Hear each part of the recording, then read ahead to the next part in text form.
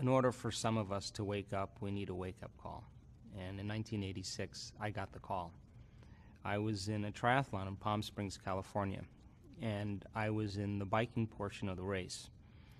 And I was coming up to this intersection, and there were two cyclists that were turning uh, onto uh, another road.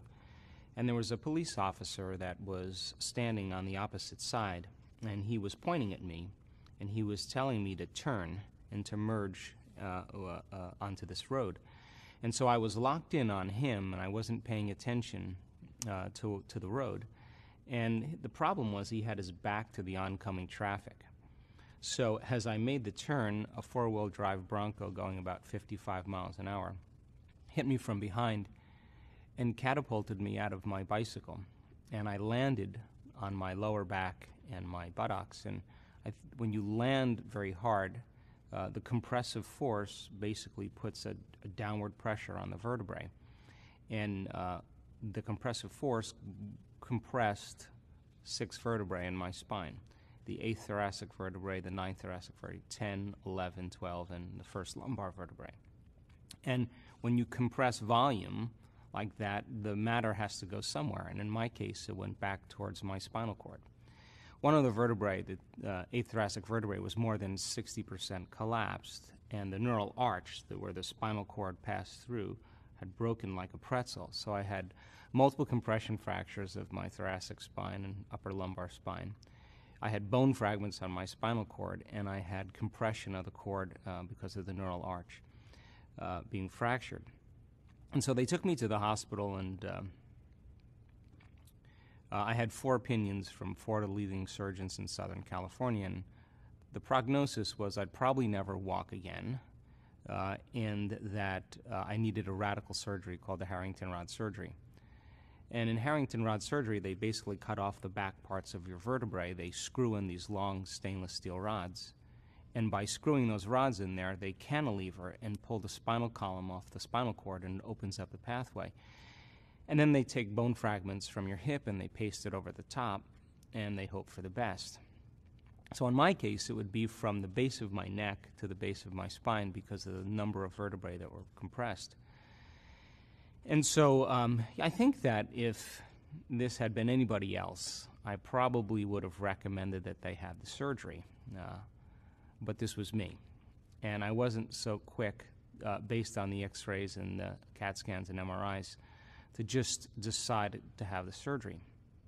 And so um, I think one of the biggest things about making a choice when you're, in, when you're indecisive, it's, uh, it's, uh, it's one of the difficult times because you're weighing what you know against what you don't know. And you reach this point in your life where it's like a dark night of the soul because when you realize that nobody has the answers to your problems but you, then you start this process of stepping out into the unknown. Now, in 1986, in Southern California, not a lot of people were going against convention, whether it was scientific convention or medical convention or social convention or religious convention. But I think that when you step outside of convention, that's the definition of a miracle.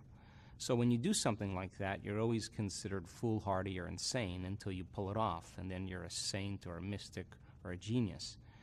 So I decided for myself personally that I was willing to step out into the unknown, that I couldn't imagine myself uh, living on addictive medications for the rest of my life or being in a wheelchair.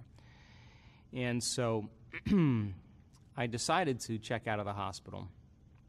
And I just had this one thought, and the thought was the power that made the body heals the body. And I couldn't stop thinking about that because I knew that there's an intelligence that's giving us life that keeps our heart beating and digesting our food.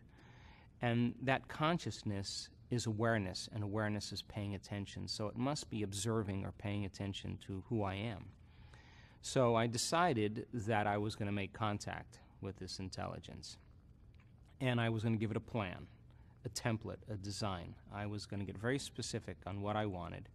And when I was happy with my creation, I was going to surrender this creation to a greater mind because it knew it knows how to heal way better than I do. Uh, and the second thing I said was, I'm not going to let any thought slip by my awareness that I don't want to experience. Now, this sounds really easy from an intellectual standpoint, but I learned very quickly that I couldn't get my mind to do what I wanted it to do. And, and when we're in crisis like, uh, or trauma, like I was, we tend to focus on what we don't want to have happen instead of what we do want to have happen. So, out of the infinite potentials that exist for us as human beings, I was selecting the worst case scenario over and over again in my mind and embracing that emotionally and being prepared for that event because if anything less happened, I would have better chances of survival. And I think when we're in crisis, it's those survival chemicals, those hormones of stress that prepare us for the worst case scenario. So uh, I would start off in my mind reconstructing my spine vertebrae per vertebrae. And then I'd start thinking about living in a wheelchair. And then I'd become aware that I was focusing on what I don't want to have happen instead of what I do want to have happen. And I'd stop and realize that I'd have to start all over. And the reason being was because this intelligence is a presence. And just like when you know someone is present with you, they're paying attention to you, and you know when they're not, and they're distracted. So I reasoned that I had to be completely present with it, and it had to get a very clear signal, a very clear plan. So I would start all over again and start reconstructing my spine, and then I'd start thinking about should I sell my home, should I sell my practice?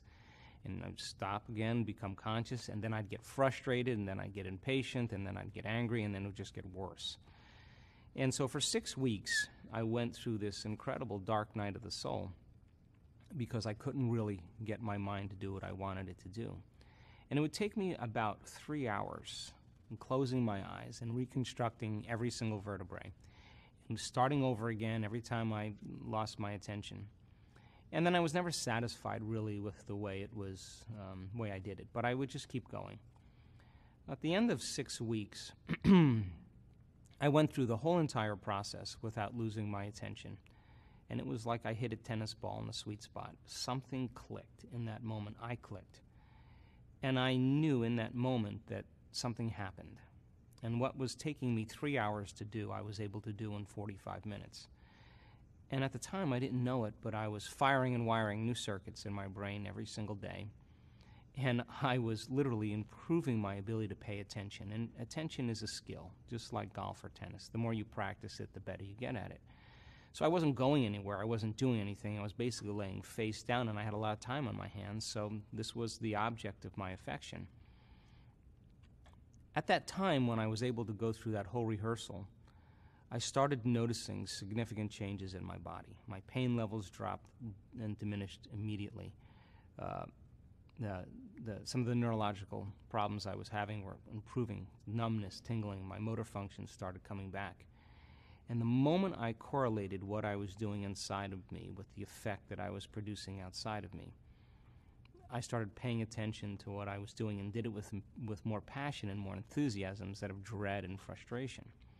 And it was that elevated emotion that I started to realize that was actually the catalyst to make it fun and easy. And then I just started thinking about if I ever able, if I was ever able to walk again, if I, what, what did I take for granted, like a sunset or a shower or sitting with my friends and enjoying a meal. And all of a sudden, I started selecting potentials in the quantum field that were no longer based on the worst case scenario, but really some future possibility.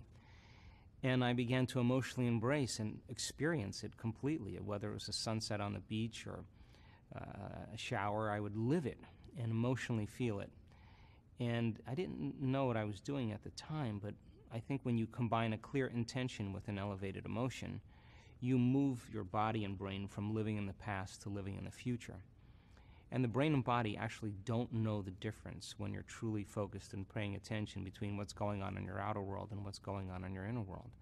And the very process of the elevated emotion began to convince my body that I was living in that future reality in the present moment because the body's the unconscious mind, it doesn't know the difference that I began to signal new genes in new ways, and my body began to change dramatically. And, and um, I was back on my feet in 10 weeks and um, back training again at 12 weeks, and I never have any pain in my body or in my back. And, and um, I just made a deal with myself, and the deal was of, with this intelligence that uh, if I was ever able to walk again, I'd spend the rest of my life studying the mind body connection and mind over matter. And pretty much that's what I've been doing since 1986. Amazing.